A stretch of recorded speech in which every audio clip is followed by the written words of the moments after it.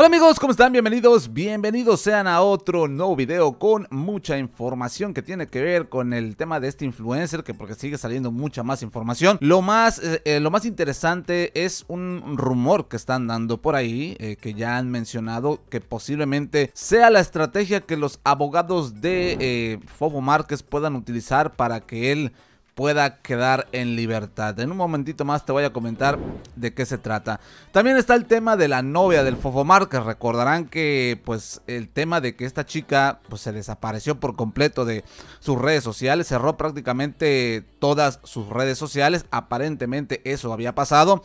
Y bueno, se especulaba y se decía de que la chica al parecer pues había dejado el país por eh, ya sea porque se sintió con miedo de que le vaya a pasar algo, porque después de todo lo que pasó tanto al Fofo Márquez como a ella, según se habla de que comenzaron a, recibir mensajes de advertencia de que algo les podría haber sucedido si no, pues se escondían un ratito. Y bueno, ya sabemos lo que había sucedido. Supuestamente ella había huido del país, le había dicho al Fofo Márquez, ¿sabes qué, papi? Yo te quiero, te adoro, te amo mucho, pero me está primero mi integridad física y si tienes espejo, pues ahí te ves, ¿no? Bueno, se desapareció ella.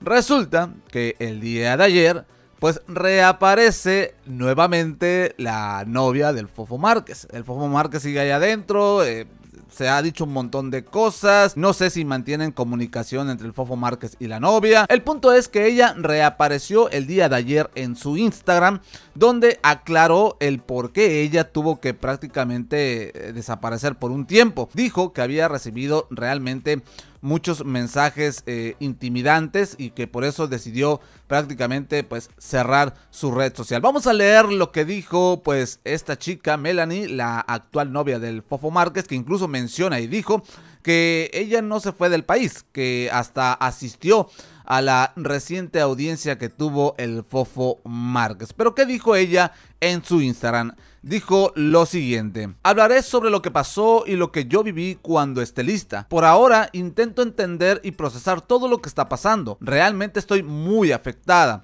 La única razón por la que decidí poner mis redes privadas fue debido a las amenazas y el acoso que he estado recibiendo a diario. Todo sucedió tan rápido que ni cuenta me di. Si pudiera retroceder el tiempo, yo les juro que hubiera hecho todo lo posible para evitar lo sucedido. Aprovecho para pedirle disculpas a la señora Edith. Lamento de corazón que le haya tocado vivir todo esto.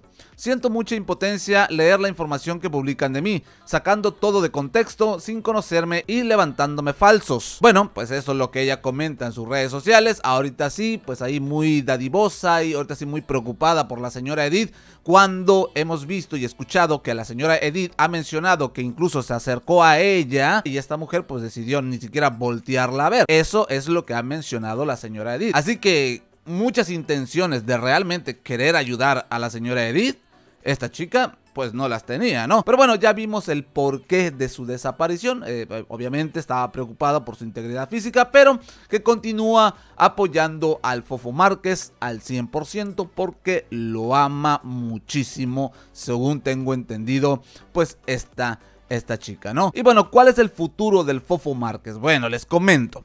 Se dice, se anda rumorando por ahí, que hay una probabilidad Mm, no sé si muy grande o no tan grande, de que el Fofo Márquez pueda ver la luz del día, pueda salir libre. porque Según andan mencionando que obviamente los abogados del Fofo Márquez quieren evitar a toda costa el llegar a un juicio. Porque si llega a un juicio está prácticamente jodido. Porque no va a haber de otra. O sea, se va a ir al bote porque se va a ir al bote. Y si va a pasar más de 20 añitos metido ahí. Por eso los abogados están apelando y apelando y apelando porque están buscando alguna manera de ayudar a que el Fofo Márquez quede en libertad.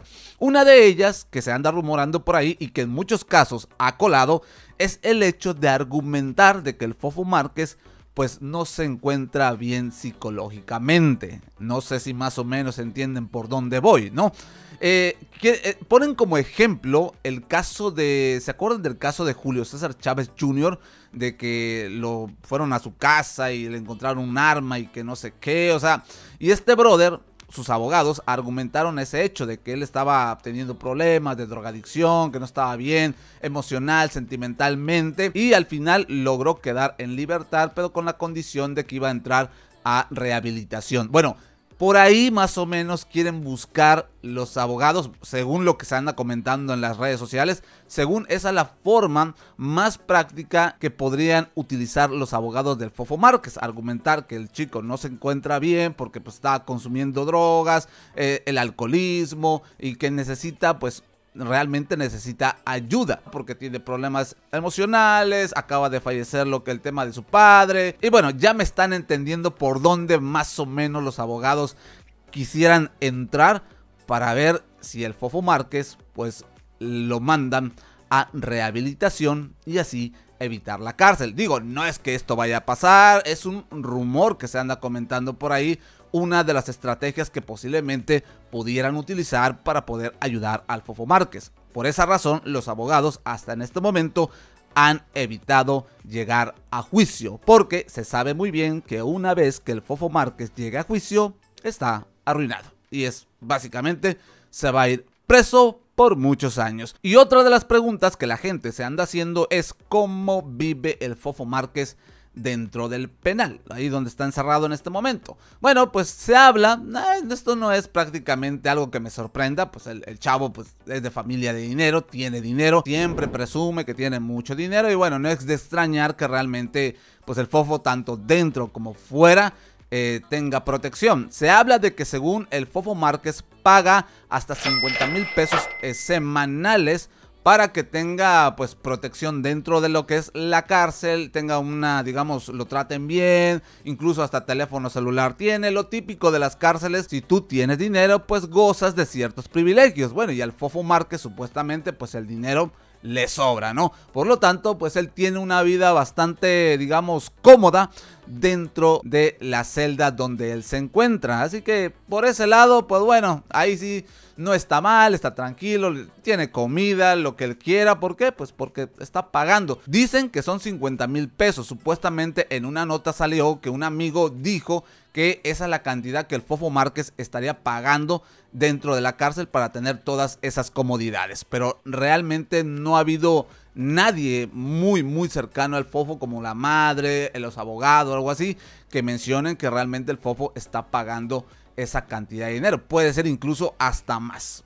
Pero bueno, prácticamente esa es la noticia que te tenía el día de hoy. La novia del Fofo Márquez pues ya regresó, ya la novia del Fofo Márquez reaparece y dice, no mi gente, no estaba desaparecida, simplemente pues eh, cerré mis redes sociales porque andaba asustada, pero yo aquí sigo al pie del cañón, al lado de mi amor y no pienso dejarlo. Y bueno, ya te expliqué más o menos la estrategia que posiblemente los abogados estarían planeando para ver si puede colar y el Fofo Márquez quedar en libertad. Y ya básicamente para dar por finalizado este video quería compartirte un poquito de información con el caso del señor Daniel Bisoño que yo sé que hay gente que pues, le interesa saber qué va a pasar con este conductor que pues hasta hoy en día en el programa de Pati Chapoy lo siguen considerando parte del equipo. Hay mucha especulación con respecto a si el señor Daniel Bisoño, si llegase a tener una recuperación al 100%, que hasta donde sabemos, pues así va, ¿no? Se está recuperando y ojalá pronto lo podamos ver al 100%, aunque es muy raro el hecho de que hace unos días iban a tener otra videollamada con Bisoño para ver cómo va con el tema de su recuperación y por alguna razón pues ya no se va a llevar a cabo porque dijeron que sale muy muy caro el hacer un enlace con el señor Daniel Bisoño. Pero bueno, ese fue el argumento que dijo la empresa. Ahora, con respecto a que si Daniel Bisoño va a continuar en el programa de Ventaneando, pues eso sí, ya es prácticamente algo muy difícil. Según en el programa de Chismeno Like, ya saben que ellos pues tienen sus paparazzis y todo este rollo, pues contactos cercanos a ellos, muy muy cercanos a ellos y también al conductor, les revelaron una información. Es esta que estás viendo en tu pantalla, que dice lo siguiente. Alejandra Mendoza, periodista de Chismeno Live, reveló que según fuentes cercanas al entorno laboral de Bisoño, Patti Chapoy estaría considerando la terminación de su contrato para distribuir el presupuesto actual asignado al salario del conductor. Mendoza explicó que TV Azteca ha continuado brindando el apoyo financiero al también actor, cubriendo parte de sus gastos médicos y manteniendo su salario. Por tanto, se especula que la dirección del programa y posiblemente la cadena evalúan las opciones legales financieras para desvincularlo del equipo, siguiendo los procedimientos internos de la empresa y tomando en cuenta los costos que su situación ha generado. Prácticamente ya es un hecho de que Daniel Bisoño no regrese a Ventaneando, no regrese a la televisión. Prácticamente están diciendo que les está costando un ojo de la cara estar manteniendo en este momento a Daniel Bisoño, estarlo ayudando y mejor prefieren reestructurar todo, llegar a un acuerdo con el conductor y todos felices. Así que con esto creo que se nos eh, despeja un poquito la duda con respecto a que si veremos nuevamente algún día a Daniel Bisoño en el programa de Ventaneando. Como siempre, con esto concluyo el video del día de hoy. Muchísimas gracias por haberme acompañado, gracias por haberme escuchado. Aquí en los comentarios déjame tus opiniones al respecto de estos dos temas, tanto el del Fofo Márquez como el del señor Daniel Bisoño. Yo me despido, que tengan un excelente fin de semana y nos estamos viendo en el próximo video. Bye bye mi gente.